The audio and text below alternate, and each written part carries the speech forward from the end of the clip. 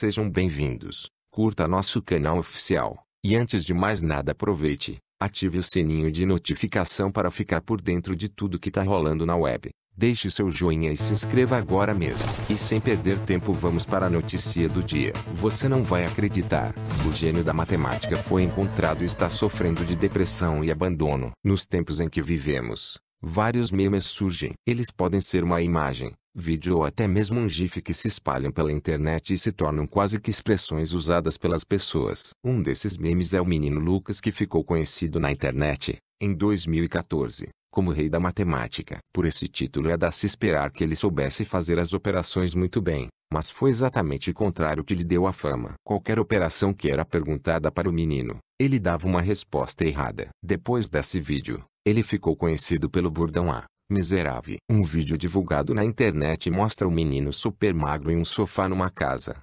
supostamente, abandonada. O meme da internet passa por dificuldades depois de sua mãe o abandonar. Segundo o site Misturando, Lucas e sua mãe têm transtornos psicológicos e até o SAMU já teria sido chamado para ajudá-lo. Em Feira de Santana, na Bahia, alguns dos moradores da cidade também se juntaram para ajudar o menino e até lhe deram banho. Como o menino foi uma sensação da internet, Várias pessoas querem ajudá-lo de alguma forma. Um pastor chamado Diego Santos fez uma vaquinha online no site Vaquinha para conseguir arrecadar dinheiro e auxiliar o garoto. O pastor aparece em vídeos ao lado de Lucas e criou um grupo no WhatsApp para tirar as dúvidas que as pessoas possam ter. Diferente do semblante que ele apresentava em seu vídeo viral.